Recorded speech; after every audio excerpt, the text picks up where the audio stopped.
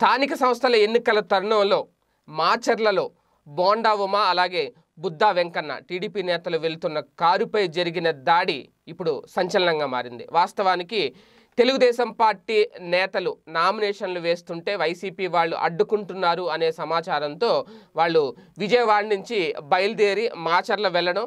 అయితే అక్కడ అక్కడికి వెళ్ళేసరికి అక్కడ ఏం లేకపోవడంతో వెనక్కి తిరిగే ప్రయత్నంలో లేదంటే అక్కడ వాళ్ళని చూసే ప్రయత్నంలో వైసీపీ నేతలు అడ్డుకున్నారు అడ్డుకొని మా మీద దాడి చేశారు వైసీపీ శ్రేణులు పనే ఇదంతా అనేది తెలుగుదేశం పార్టీ చేసిన ఆరోపణ.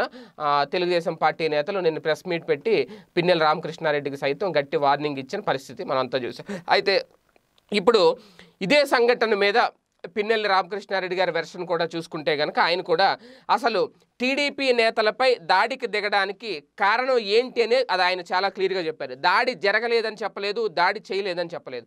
అసలు కారణం ఏంటనేది చెప్పారు. అది ఏంటి అంటే ఒక అసలు వాస్తవానికి అక్కడ మనకు కనిపించేది ఒక కారే. కానీ ఒక వెహికల్ రాలేదంట.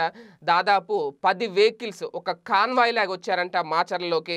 ఆ మాచర్ల టౌన్లోకి ఒక కాన్వాయ్ లాగా పది వాహనాలు వేసుకుని దూసుకు వచ్చిన టీడీపీ నేతలు ఆ వాహనాల్లో ఒక వాహనం రోడ్డు దాటుతున్న ఒక పిల్లాడిని ఢీ కొట్టింది అని చెప్పి చెప్తున్నారు. ఇరుకు రోడ్లో అంత స్పీడ్గా ఎందుకు వెళ్తున్నారు అని చెప్పి స్థానికులు నిలదీయడంతో కారులో కూర్చున్న బొండా ఉమ అలా అలాగే బుద్ధా వెంకన్నలు ఆ, అడ్డుకున్న వాళ్ళ మీద దుర్భాషలు ఆడడం వాళ్ళ మీద ఇష్టం వచ్చినట్టు మాట్లాడడంతో వాళ్ళు ఆగ్రహానికి గురయ్యారు. ఎందుకంటే శాంతి భద్రతలకు విఘాతం కలిగించాలనే ఉద్దేశంతోనే తెలుగుదేశం పార్టీ ఇలాంటి పనులకు పాల్పడుతోంది అనేది పిన్నెల రామకృష్ణారెడ్డి గారి ఆరోపణ. ఇందులో భాగంగానే పది కార్లలో వచ్చి వాళ్ళు గొడవకు దిగారు. స్థానిక ఎన్నికల్లో లబ్ధి కోసం ప్రశాంతంగా ఉన్న పల్నాడులో చిచ్చు పెట్టడానికి చంద్రబాబు ప్రయత్నిస్తున్నారు. అందుకే వీళ్ళను పంపించారు అనేది. పది కార్లలో గోండాలను పెట్టుకుని వచ్చారు మాచర్లు వచ్చారు అని చెప్పి కూడా ఎమ్మెల్యే పిన్నెల్లి ఆరోపించడం జరిగింది. అదే అలాగే ఇదే పల్నాడు ప్రాంతంలో రెండు వేల పద్నాలుగులో వైసీపీ నేతలు గతంలో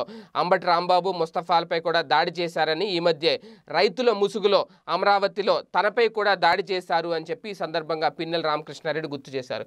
అయితే అసలు నిజా నిజాలు ఏంటి ఎవరికి వాళ్ళు ఇరు ఇరు పార్టీలకు చెందిన వాళ్ళు ఒకళ్ళ మీద ఒకళ్ళు ఆరోపణలు చేసుకుంటూ ముందుకు వెళ్తున్నారు. అసలు ఏంటి? ఇది దీనికి ముగింపు ఉందా? పులిస్టాప్ ఉందా? ఏంటనేది చూడాలి. ఈ వీడియో గనుక మీకు నచ్చినట్లయితే లైక్ చేయండి షేర్ చేయండి. మరిన్ని వీడియోస్ కోసం మా ఛానల్ను సబ్స్క్రైబ్ చేయండి.